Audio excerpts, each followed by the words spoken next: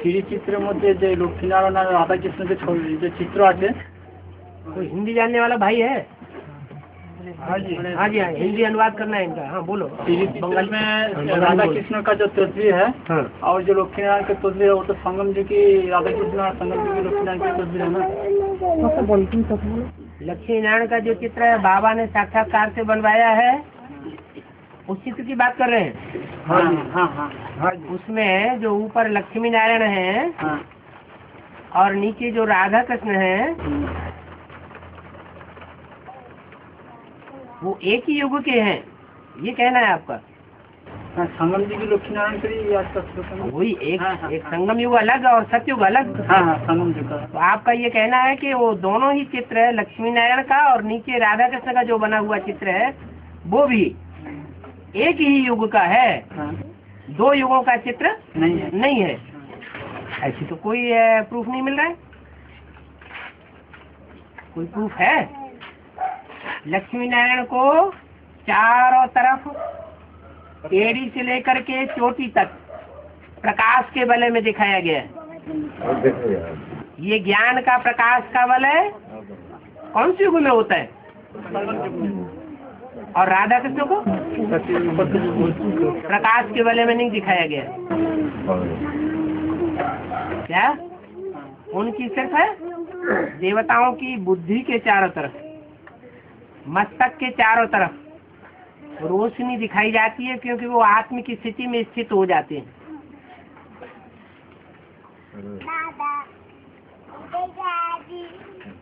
इसलिए वो सतयुग के हैं, राधा कृष्ण। और लक्ष्मी नारायण दिखाए गए हैं संगम युग के। और नीचे लिखा हुआ भी है इनका राज्य कब तक चलता है? संबत एक से दो हज़ार ढाई हज़ार साल तक। माना संबत एक की शुरुआत इन लक्ष्मी नारायण ने की है।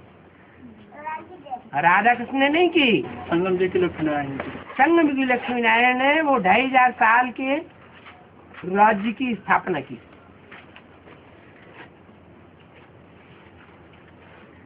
क्या? जी की नारायण मालिक है। हाँ। वो विश्व के मालिक है। सत्यखंड की स्थापना करते हैं। और उनके बच्चे जो नीचे दिखाए गए हैं उनके ऊपर लिखा हुआ है स्पष्ट। महाराज कुमार? महाराज कुमारी। वो भी नहीं। महातेरा जी विश्व महाराजन श्री नारायण लिखा है उनसे पहले। लक्ष्मी नारायण के चित्र के नीचे। और विश्व महारानी श्री लक्ष्मी। और राधा कृष्ण के चित्र के ऊपर क्या लिखा है? महाराज कुमार श्री कृष्ण और महाराज कुमारी? श्री राधे माने? एक ही महाराज महाराजा के, महाराज महारानी के बच्चे हैं? या अलग अलग महाराजाओं के बच्चे हैं? एक ही के बच्चे तो सत्युग में होती है युगल या जोड़ी? युगल बच्चे पैदा होते हैं। क्या? यहाँ इस सृष्टि में भारतीय परंपरा में खास पुरुष एक कुल से और स्त्री दूसरे कुल से होती है। और सचिव में? ऐसे नहीं होता। नहीं सचिव में सूर्यवंशी ही होते हैं। हाँ, कोई चंद्रवंशी नहीं होते। और एक ही कुल में जन्म होता है। और पूरा जीवन उनका साथ रहता है। क्योंकि विकारी तो है ही नहीं। विकृति की तो बात ही नहीं। और?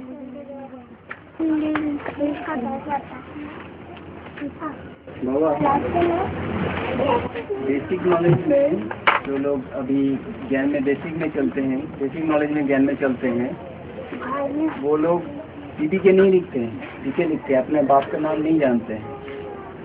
और फिर उसका जोग करने का तरीका जो है, वो भी मैंने बाबा का श्रीमत के अनुसार ठीक नहीं है।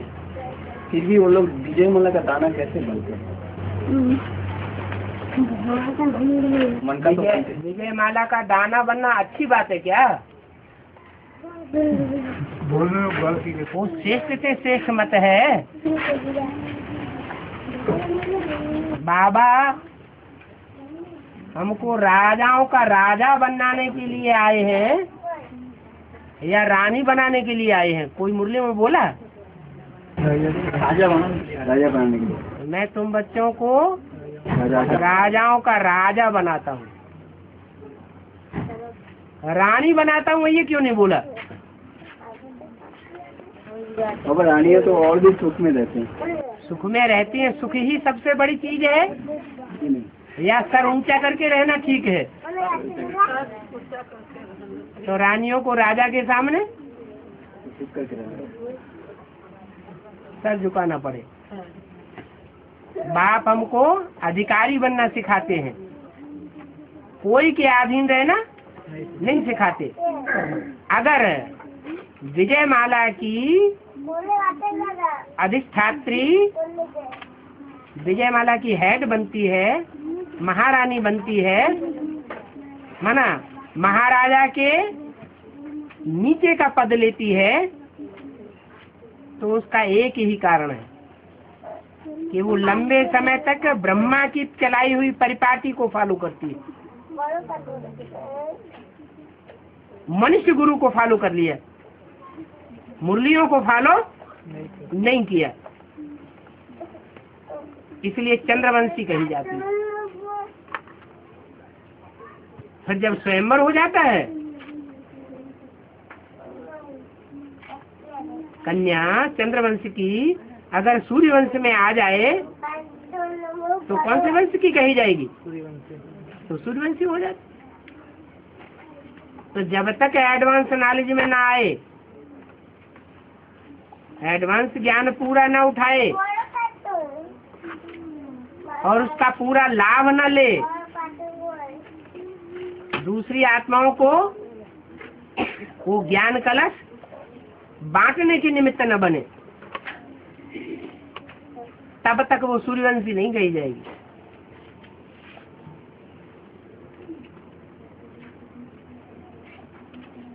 तो विजय माला का लक्ष्य लिया है क्या? है? विजय माला का मणका बनना है? या रुद्रमाला का मणका बनना है? रुद्रमाला है, बाप की माला। शिव रौद्र रूप धारण करता है। वो रुद्र भगवान की माला है। और विजय माला विष्णु की माला है। विष्णु क्या? सूक्ष्म बतन के तीन तबक्कों में तीन देवताओं को रखा गया। विष्णु ऊँचा या रुद्र शंकर ऊँचा तो माला किसकी ऊँची माला रुद्र की ऊँची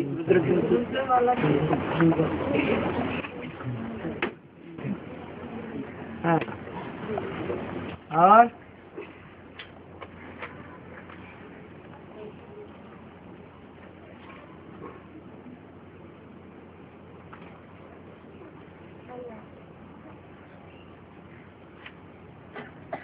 बाबा और एक सवाल। हम्म, जैसे शिव बाबा परम नाम से आते हैं तो त्रिमूर्ति है तीन मूर्ति के साथ में लेके आते हैं। हम्म। उनके द्वारा नाम से नहीं लेके आते हैं। इस शक्ति पर आते हैं तो तीन मूर्तियाँ उनके साथ हो जाती है। परम नाम में मूर्तियाँ थोड़ी होती होती हैं। इसी शक्ति में से कोई तीन आत्माएँ उनकी दृष्टि में है।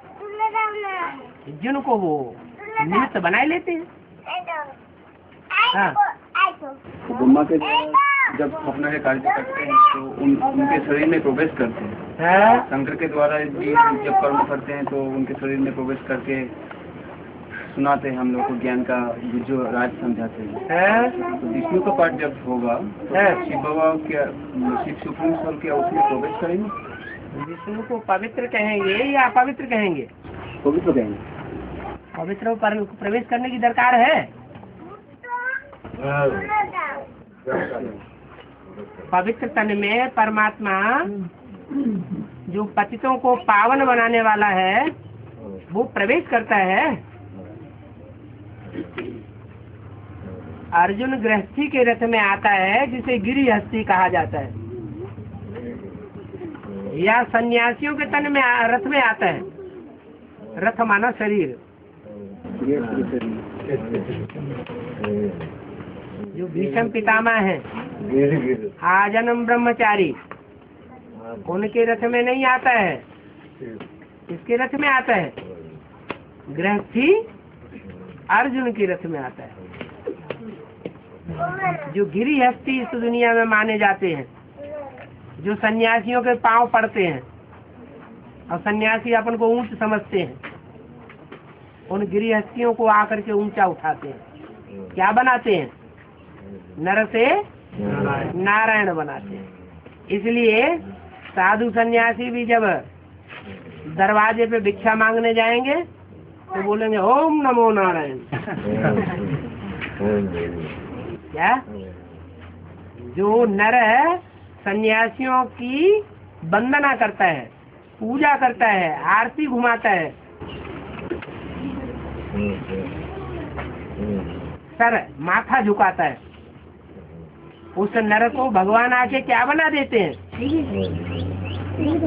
ऐसा नारायण देवता बनाते हैं जो सन्यासियों को फिर उनके पाँव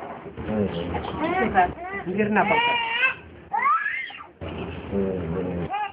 तो भगवान पतित को आकर के पावन बनाता है, इसलिए पतित तन में प्रवेश करता है। भगवान के संग का रंग किसको लगना चाहिए? पतितों को लगना चाहिए या पावन को लगना चाहिए? पतितों को। संग का रंग लगे तो संग तारे और कुसंग बोरे। रावण का संग डुबोता है और राम का संग उबारता है और तो बाबा तो परमात्मा का जो विष्णु वाली पाठ है हाँ जी। वो वो पाठ पुलिस पावनी पाठ कहा जाएगा? नहीं। पतितों को पावन बनाने वाला है कि खुद पवित्र बनने वाला है? पवित्र बनने वाला पवित्र बन चुका होता बन चुका होता है कब से? जब विष्णु के पाठ शुरू होता है जब ब्रह्मा सो विष्णु बने तब ना। तब। तो बुद्धि में बात बैठ जाए ना गीता का भगवान कौन है? अभी तो क्या बैठा है बुद्धि में?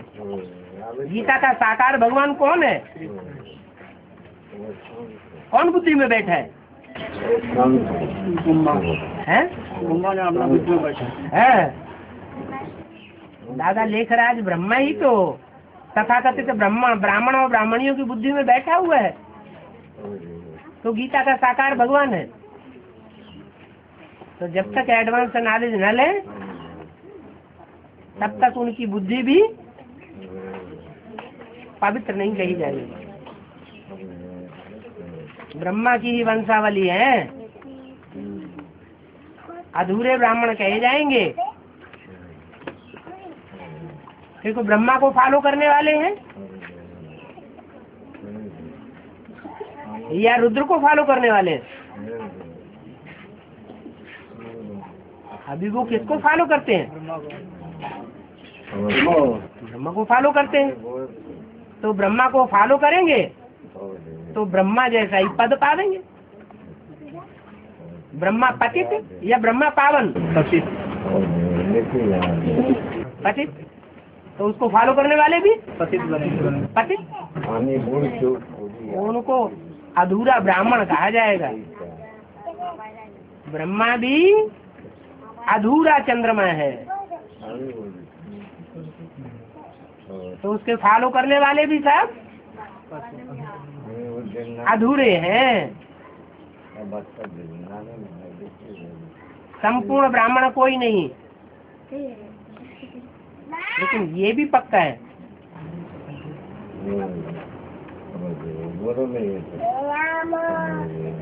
कि रुद्रमाला में जो कार्य करने वाला अधूरा चंद्रमा है वो जब तक ब्रह्मा तो विष्णु पद ग्रहण नहीं करता। तब तक और कोई की सदगति नहीं हो सकता हो नहीं सकती। और? आत्मा क्या चीज़ से बना हुआ है? अगर बना हुआ है तो कब बना? ये भी प्रश्न पैदा होगा।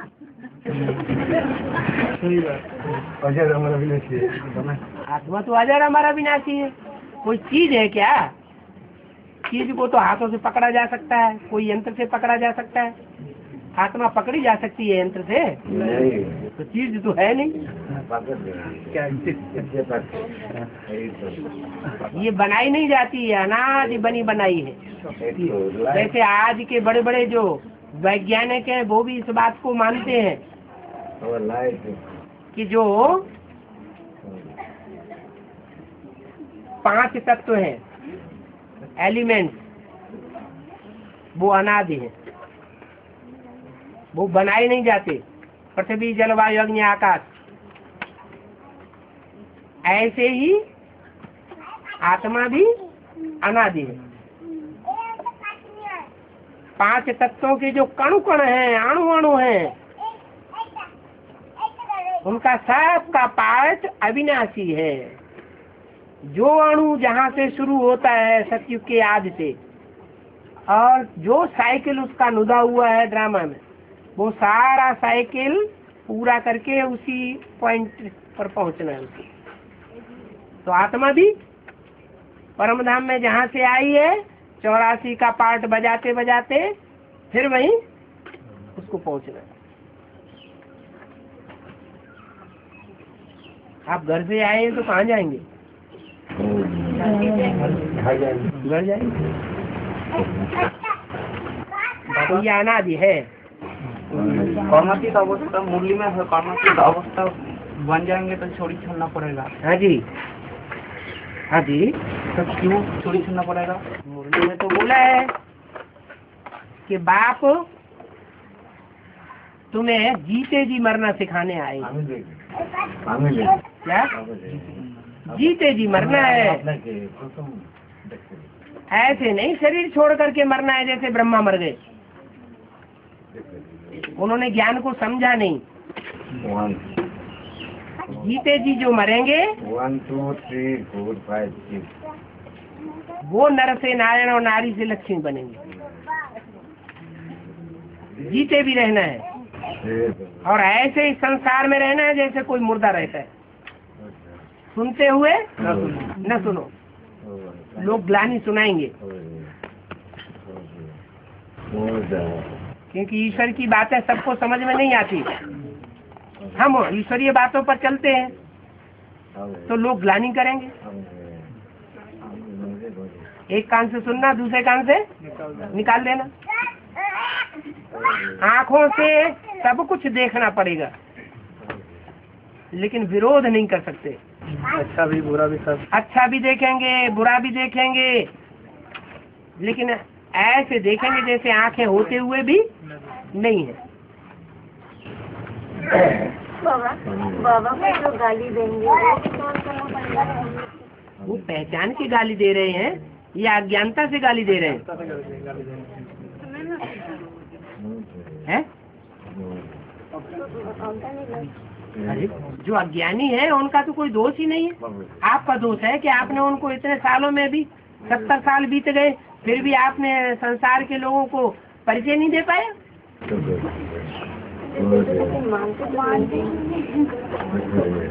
देने वाले में कोई कमी होगी?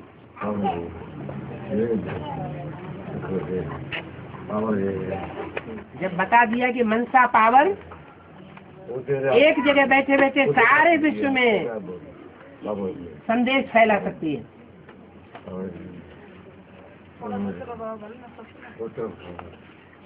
मनसा सेवा सबसे बड़ी सेवा है। फिर अभी तक कौन सी सेवा कर रहे हैं? वही मेगा प्रोग्राम वही मेले मिला खड़े वही जड़ चित्रों की प्रदर्शनी वही कॉन्फ्रेंस जो दुनिया करती है तो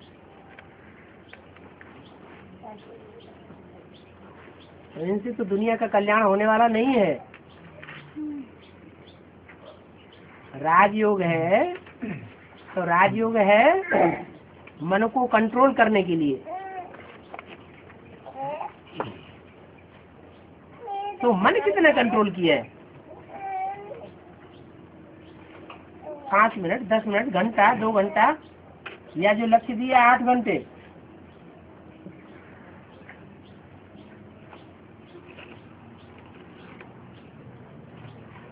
मननाथ मनुष्य कहा जाता है।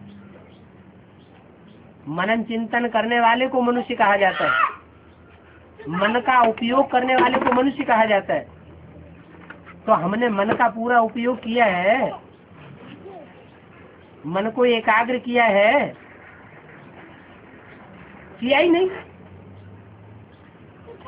तो ईश्वरीय पावर कहाँ से आ गई? थोड़ा कुछ है? मन एकाग्र होने की पावर आएगी तभी तो मन का सेवा करेंगे। अमृत वेला कितना हो रहा है? हैं? समान हो ही नहीं? क्यों नहीं होता है। क्यों नहीं होता? है जो आज जो लोग रात में ड्यूटी देते हैं जिनकी ड्यूटी होती है नौकरी होती है एक बजे से लेकर के आठ बजे तक नौकरी करने की वो जागते हैं कि नहीं जागते हैं? पैसे लेते हैं ना? हाँ तो पैसे दिखाई पड़ते हैं इसलिए जागते हैं। हैं? नाही क्या कह रहे हैं? कोई तकलीफ़ होगा कि? जागने से। हाँ, क्या तकलीफ़ करने के बाद अगर नींद आ जाता तो अभी आपको बताया ना कि जिनकी ड्यूटी होती है कारखाने में एक बजे से लेके आठ बजे तक काम करने की उनको तकलीफ़ हो जाती है क्या? प्राप्ति की खुशी रहती है इतने नोट मिलेंगे। सारा दिन अपना दूसरा धंधा करेंगे। तो परमात्मा से क्या प्राप्ति होती है? वो बुद्धि में भी बैठा ही नहीं है।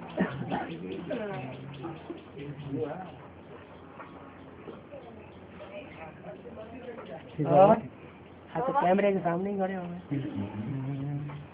अच्छा हाँ बाबा যোগ্যের আতিতে हैं যোগ্য আদি- আদি में जो छोटा मामी बड़ो मामी में छोटा मामी यज्ञ के आदि में। यज्ञ के आदि में जो पुरुषता हुई बाप का क्या हुई पुरुषता बाप का जो पुरुषता हुई ना, छोटी मम्मी में प्रवेशता हुई और- वही बात वो है, बड़ो मम्मी में बाप बाप बाप बाप में बाप आ, ये छोटे बड़ो मम्मी में और छोटा मम्मी में मम्मी से पुरुषता हुई थी कि हुई नहीं ये क्या- इसका क्या प्रूफ कि छोटी मम्मी में भी प्रवेशता होती है छोटी मम्मी अपवित्र बनती है किसी जन्म में क्या विचारणी बनती है क्या? नहीं बनती। अनेक पति बनाती है क्या? अरे नहीं बनती। अरे 500 700 करोड़ मनुष्य आत्माएँ हैं। आधे जन्म स्त्री आधे जन्म पुरुष की लेती है। कोई तो आत्मा ऐसी होनी चाहिए जिसका सभी जन्मों में चौरासी जन्मों के पूरे चक्कर में सिर्फ़ एक ही आत्मा के साथ कनेक्शन बने। देह का पति के रूप में। और शास्त्रों में भी गाया हुआ है। क्या? किसके लिए गाया हुआ है?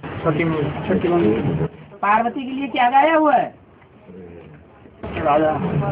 जन्म जन्म लगी रगरे हमारी वरों शंभु न तो रहूँ कुंवारी। क्या? ये मेरी प्रतिज्ञा है कि जन्म जन्मांतर मैं शंभु को वर्ण करूँगी पति के रूप में। नहीं तो मैं कुंवारी बन के रहना पसंद करूँगी।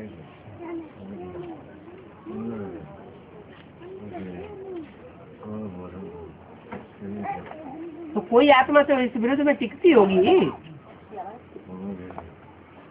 एक शिव बाबा, दूसरा न कोई। छोटी मम्मी है। कोई दूसरा तुरंत में दिखाई जाती है आसमान में? तो फिर आवाज़ किसके द्वारा निकलेगी? पवित्रता की पावर से आवाज़ निकलेगी? या इम्प्योरिटी से आवाज़ निकलेगी? कोई तो बोला भी है। भारत माता शिव शक्ति अवतार अंत का यही नारा है। एक रानी मक्खी निकलेगी। तो पीछे पीछे सारा झाड़ जानेगा। जहाँ प्योरिटी होती है, वहाँ यूनिटी बनती है। प्योरिटी नहीं होगी। तो यूनिटी नहीं बनेगी। यूनिटी माने संगठन। ना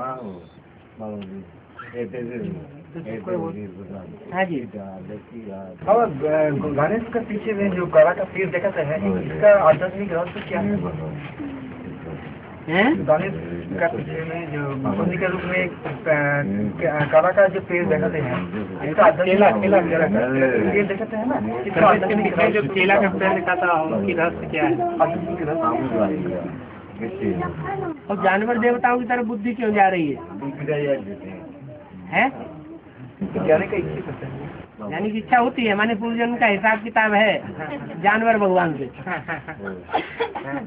जानवर के रूप में जो देवता पूजे जा रहे हैं उनकी तरफ़ हिसाब किताब है। नहीं घबरा रहे हैं। हैं हनुमान और गणेश की पूजा सीढ़ी की चित्र में दिखाई गई कलयुग में। द्वापर द्वापर द्वापर युग में इनकी पूजा नहीं होती है। भारतवर्ष में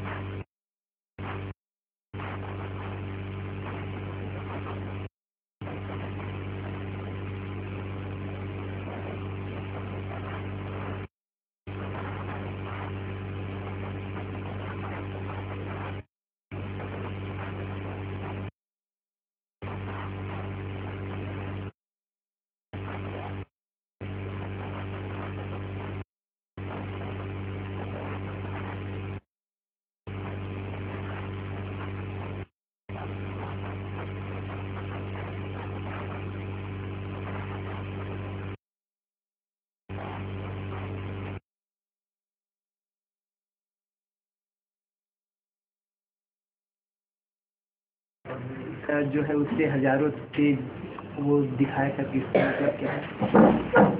वो सूर्य तो जड़ है। और ज्ञान सूर्य तो चैतन्य चैतन्य में ज़्यादा पावर होती है या जड़ में ज़्यादा पावर होती है? जड़ को भी चलाने वाला कौन? है चैतन्य जलाने वाला। कहाँ आत्मा की ताकत? और कहाँ आटम की ताकत? एटम से एटम बम ज़रूर बनता है। लेकिन आत्मा आत्मा उससे भी ज़्यादा पावरफुल है। तो जब वो ज्ञान सूर्य सूर्य के रूप में, संसार में अपना पूरा फोर्स पकड़ता है तो सारी मनुष्य आत्मा मच्छरों से तो भागेंगे इसके पीछे पीछे मैं सबको कैसे बना के ले जाऊँगा? मच्छरों से तो। क्या मतलब हुआ इसका? ये देह जहाँ जहाँ जिनको जिनको देह है, उनको देहभान रहता है। कितना प्रयास करते हैं पुरुषार्थ में, लेकिन देहभान देहभान खलास नहीं होता। बाप क्या कहते हैं? ये देहवान को खलास करना है। आठ ऐसे निकलते हैं जो अपने पुरुषार्थ से, अपने देहवान को खलास कर पाते और बाकी? बाकी देहवान खलास नहीं होता। देह का अहंकार ज़रूर रहता है। विनाश बाद में होगा। पहले पहले तो ब्राह्मणों की संगत में दुनिया में तो सूक्ष्म हो। जो आखिरी तत्व तो है वो पराभव को पाए। उनकी जो मेंटलिटी बढ़ रही है जो हौसला बढ़ रहा है वो हौसला उनका पस्त हो जाए। तो शुरुआत हुई विनाश की। बाहर की दुनिया तो स्थूल दुनिया है। स्थूल में ज़्यादा ताकत होती है सूक्ष्म में? सूक्ष्म।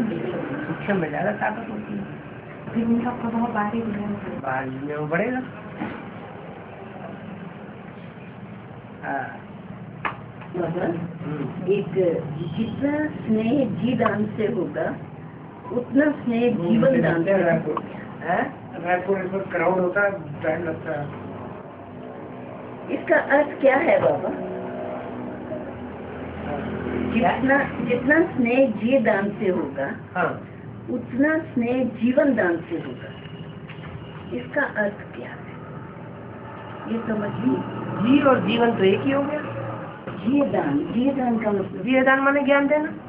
और जीवन दान जीवन दान माने कोई मर रहा है उसको मरने से बचा लिया। जीवन बचा लिया मरने नहीं दिया। ज्ञान में बेहद में भी अर्थ है इसका। अनिश्चय बुद्धि बन रहा है और उसको अनिश्चय बुद्धि बनाने से बचा लिया। जैसे सांस मिल गई। ऑक्सीजन हाँ, ऑक्सीजन दिया जाता है। और बाबा एक और क्वेश्चन है। सर्व संबंधों से मुक्त आत्मा को व्यक्त आत्मा खींच नहीं सकती पंद्रह मिनट और हम्म। हाँ। सर्व संबंधों से मुक्त आत्मा को व्यक्त आत्मा खींच नहीं सकती हाँ। कैसे? तो निर्मोही हो गई जिससे में मोह खत्म हो गया देह और देह के संबंधों का ममत्व ही खत्म हो गया तो उसमें बहुत पावर आ जाती है।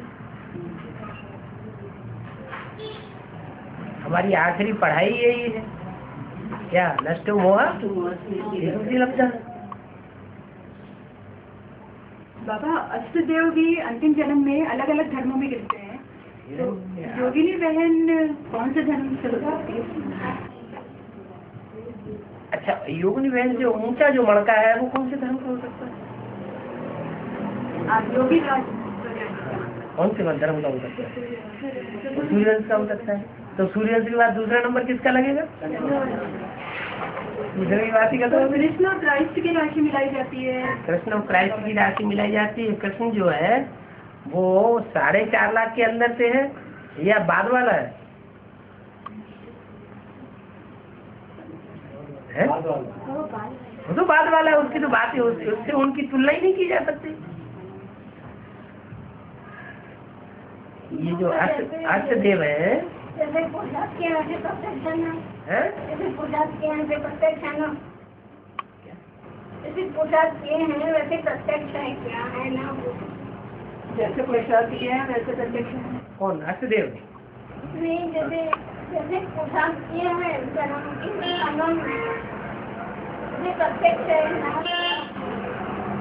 क्या आप बात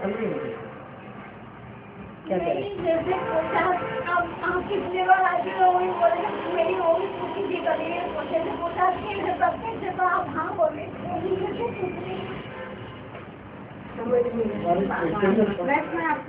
जो बात चल रही है सुनी सुनी अभी बात चल रही थी माता जी ने पूछा कि जो योगिनी बहन है, वो कौन से वंश से कनेक्टेड है? आखिरी जन्म में कहाँ जाकर के गिरती है तो उसका जवाब दिया कि जो ऊंच से ऊंच वंश है, वो कौन सा है? सूर्यवंश। और अष्ट देवों में ऊंच से ऊंच देवता कौन? है? हाँ ज्ञान सूर्य है। ईश्वर है। ईशान कोण में? जो पूरब और उत्तर का जो कोण है, उसको कहते हैं ईशान कोण, जहाँ से सूर्य उदय होता है। उत्तर पूर्व से उदय होता है ना? तो ईशान कोण कहा जाता है? वो ईश्वर का, ईश्वर की दिशा है। माना? देवताओं में सबसे बड़ा देवता है महादेव। वो ईश्वर का रूप है। तो वो तो हुआ सूर्यवंश। सूर्यवंश से? तो उसके बाद नंबर किसका लगेगा? चंद्रवंश का नंबर बाद में लगेगा।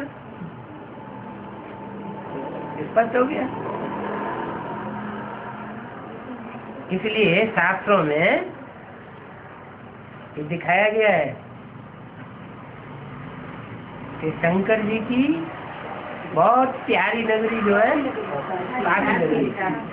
जितना शंकर जी काशी नगरी को जितने ये देते हैं, महत्व देते हैं, उतना और किसी को शहर को महत्व नहीं देते। दिल्ली को महत्व नहीं दिया। कृष्ण ने किसको महत्व दिया? नहीं। मथुरा तो राज्य की है। नहीं, बाबा जी ज्ञान के अनुसार बताइए। अरे, कृष्ण की सोल जो है, वो अपना जब आखिरी मर्तबा प्राप्त करती है, नया जन्म लेकर के तो कहाँ राज्य करती है? उनकी बुद्धि में, पुरुषार्थी जीवन में क्या समाया रहा? मैं कहाँ राज्य करूँगा? जमुना के कंठे पर दिल्ली में राज्य उनकी बुद्धि में दिल्ली समाती है। और शंकर की बुद्धि में काशी नगरी समाती है जी। ये समझ में नहीं आया स्मृति बनती है संग से। हाँ? और वृत्ति बनती है वातावरण से। लेकिन बाबा विस्मृति वातावरण और वृत्ति कोई अलग अलग थोड़े ही है। वृत्ति बनती है वाता एक माने बाहर का है वातावरण। हाँ जी। और जो बाहर का वातावरण है वो हमारी वृत्ति को क्रिएट करता है। क्रिएट करता है। लेकिन हमारे संकल्प भी तो वृत्ति को बनाते हैं। वातावरण कैसा भी हो वातावरण को हम परिस्थिति भी कह सकते हैं। लेकिन उसको स्थिति से चेंज किया जा सकता है। हम्म, हाँ? लेकिन इसमें और भी है लेकिन विस्मृति भी तो संग दोष से बनती है। विस्मृति भी संग जिसका साथ करेंगे उसकी स्मृति आएगी।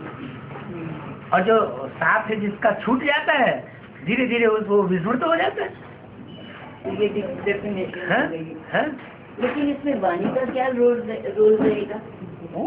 इसमें वाणी का क्या रोल रहेगा? भाषा से भी जब हम जिस चीज़ की भाषा ज़्यादा निकालते हैं महिमा ज़्यादा करते हैं मुख से वो चीज़ भी याद रहती है। जैसे संग से स्मृति बढ़ती है वैसे भाषा वाचा करने से भी रुचि बढ़ती है। लेकिन उतनी नहीं। रोल इतना ज़्यादा इतना ज़्यादा नहीं। ज़्यादा नहीं हाँ। तिरसठ जन्म बाका ही तो चलती चली आई। लेकिन प्रभाव क्या हुआ? ना के बराबर। बाबा गाय को लेकर के वशिष्ठ जी और विश्वामित्र में झगड़ा हुआ। हाँ। वशिष्ठ जी विश्वामित्र के पास पहुँचे कि हमें अपनी गैया को दे दो। विश्वामित्र ने मना कर दिया। उनको बहुत बुरा उल्टा लिख लिया आपने। जी? उल्टा लिख लिया। वशिष्ठ जी के पास गाय थी। कामधेनु तो वशिष्ठ और विश्वामित्र कौन कौन वशिष्ठ जो है जो विशेष स्थिर होकर के पुरुषार्थ करता है। हाँ। और विश्वामित्र वो है जो सारे विश्व का मित्र है। ब्रह्मा की सोल माने, कृष्ण की सोल माने, विष्णु की सोल। वो सिर्फ़ देवताओं का उद्धार करने के निमित्त है। क्या? जिसने देवताओं को ये जिसने दिया हाँ। और वो और वो वो विश्व के मित्र नहीं हुए। और विश्व का मित्र? जो देवताओं को भी वरदान देता है असुरों को भी वरदान देता है। तो बाबा गाय को लेकर झगड़ा हुआ इच्छा क्या है? कामधेनु गैया कौन है?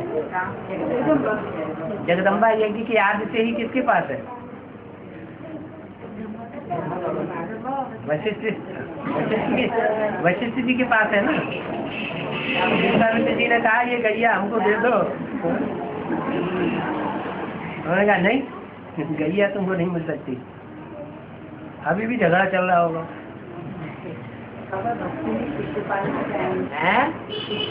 अभी माता जी की बात नहीं हुई। तो गाय उन्होंने मांगी, उन्होंने देने से इनकार कर दिया।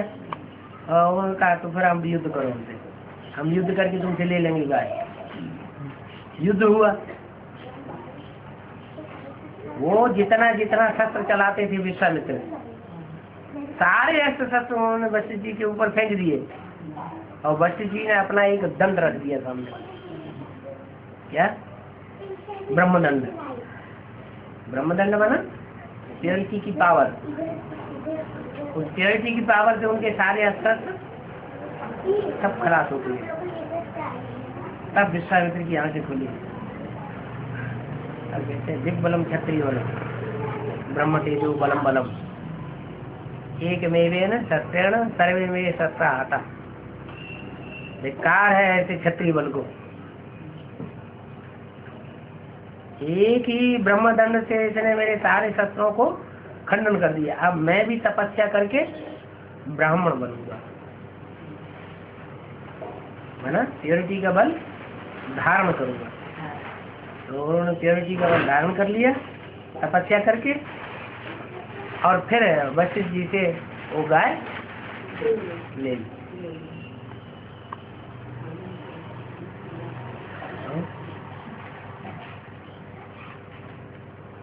अभी एडवांस पार्टी में ज्ञान के अस्त्र कितने चले?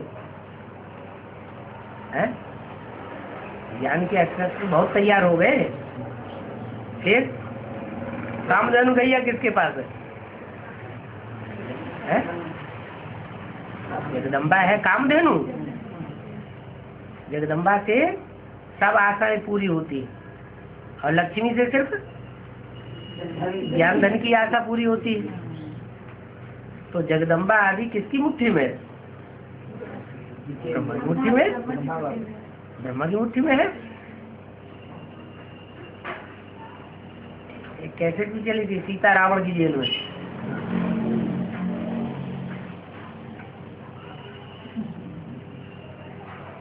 रावण के दस चीज़ सिखाए जाते हैं? पाँच चीज़ माया की। काम क्रोध लोभ अहंकार। और पाँच चीज़, नारी के मंदोदरी के।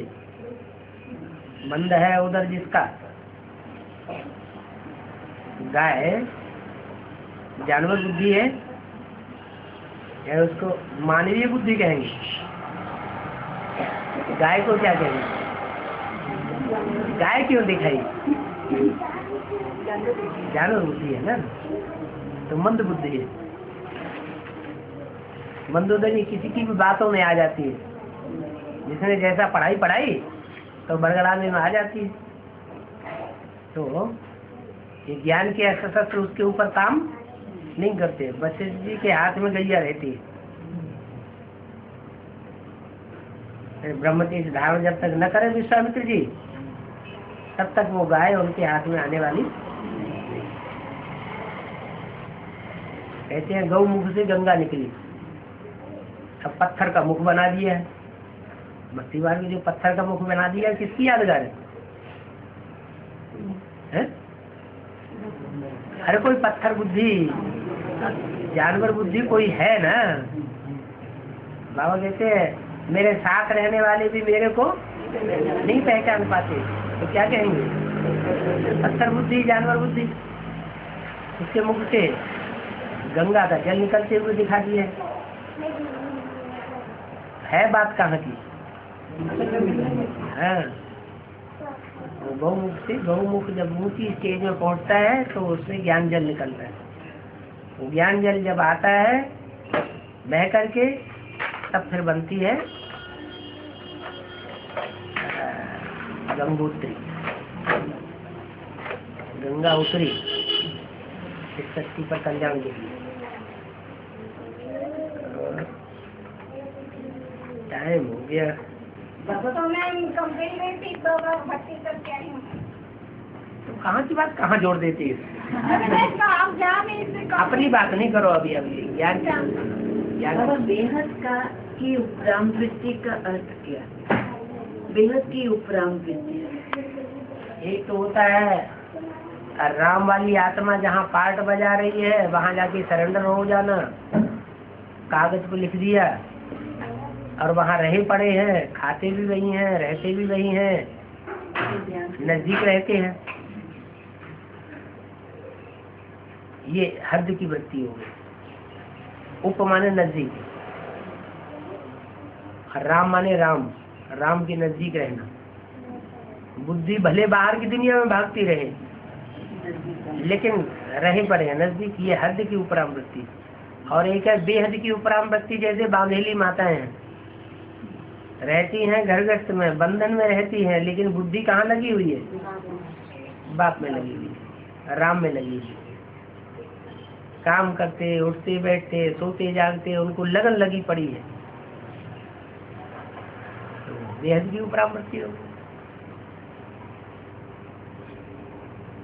इसलिए बोला अंदर वाले रह जाएँगे बाहर वाले ले जाएँगे। हाँ। शेख भी आएँगे इस ज्ञान में। हाँ। तो शेख क्या है? मुसलमान होते हैं। हाँ तो वो यानी यानी कहा पर इब्राहिम में कि है ना मोहम्मद पैगंबर में। इब्राहिम जब आता डॉक्टर के बाद वहाँ से आते हैं शेख? के है ना वहाँ से आते हैं कल पर मोहम्मद पैगंबर आपका कनेक्शन है क्या? शेखों से किससे? शेखों से नहीं मैं ना मुस्लिम धर्म की हूँ इसलिए ना चार है ना एक पठान शेख या सुन्नी। हाँ। सिया सुन्नी तो दो मुसलमानों की दो कास्ट हो गई। हाँ। एक ग्रुप है सिया। मैं और बहुत एक- ए- एक ग्रुप है सुन्नी। वो सिया सुन्नी में झगड़ा रहता है। है। इनका फाउंडेशन भी यहाँ पड़ता है। जैसे सूर्यवंश और चंद्रवंश। हाँ हाँ हाँ मालूम है। तो जो सूर्यवंश है और चंद्रवंश है वो है सिया। सिया माने शांत स्वभाव का सिंधी और सुन्नी जो है वो तीखे स्वभाव के होते हैं। मार काट मचाने वाले। और शेख कौन होते हैं? शेख का भी तो नाम आता है। शेख भी ज्ञान में आएँगे। से, से, शेख वो होते हैं जो शेख ही बहुत मारते हैं। पठान भी हैं। पठान बात का पक्का होता है।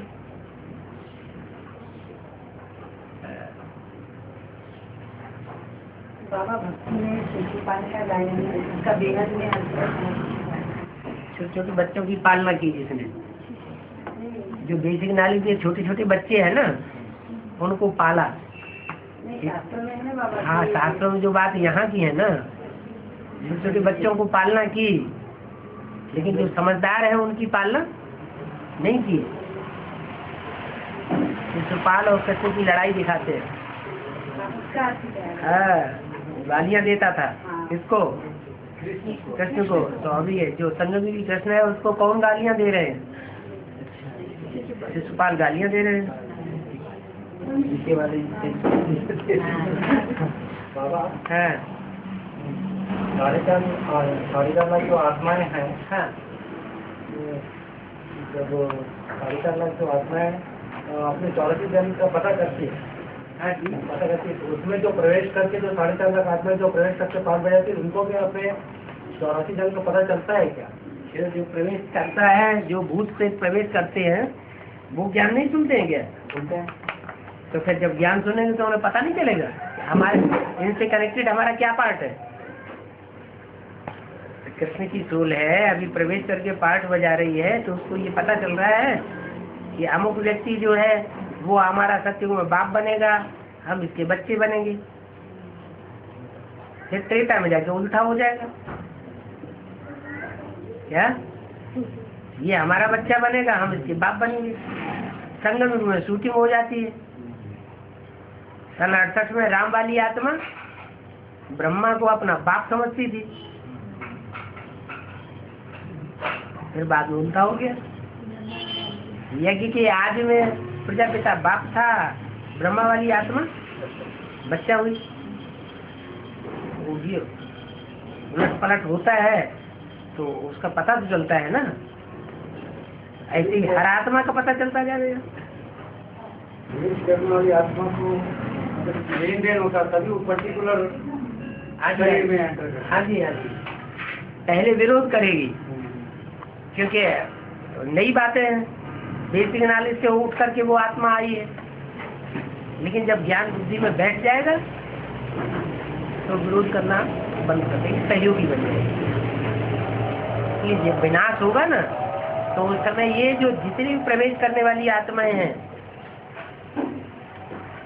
जो आ, प्लानिंग पार्टी में प्रवेश कर रही हैं वो इंस्पिरेटिंग बन जाएँगी। उमंग उत्साह भरेंगी विनाश के टाइम में डाउन नहीं होने देंगी देहदारियों को क्योंकि देह के बंधन में आत्मा होती है, उसमें कम ताकत होती है। और देह के बंधन से जो मुक्त आत्मा है, सूक्ष्म शरीरधारी, ज़्यादा पावरफुल होते हुए कोई देख ही नहीं पाता। तो सारा करिश्मा विनाश के टाइम पर वो आत्माएँ करेंगी। क्यों आ देता है हाँ? जैसे, है? कंपिल का मकान बन रहा था, चौथी मंजिल छत की तैयार हो रही थी। तो एक बच्चा वो जब छत जब तैयार हो रही थी वहाँ खेलने के लिए माता छोड़ गई। ये लोग काम कर रहे हैं, देखते रहेंगे। वो किसी काम से नीचे गई, वो बच्चा जो है, वो नीचे गिर गया। चौथी माँ से नीचे गिरा, नीचे लकड़ी पड़ी हुई थी। लकड़ियों का पड़ा हुआ था। हाँ। उन लकड़ियों के ऊपर वो बच्चा गिरा। वो माता, जब पता चला तो पता चली माता, वो माता भागती हुई गई, पीछे जाकर बच्चे को उठा लाई। और थोड़ी सी छांट आई, बच्चा थोड़ी देर बाद थोड़ा रोया और उसके बाद खेलने लगा। अब इतने ऊँचे से बच्चा गिरेगा तो उसे तो खत्म हो जाना चाहिए। फिर उसको किसने साधा?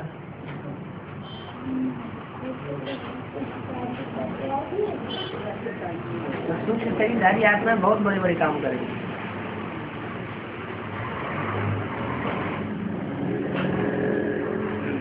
बस।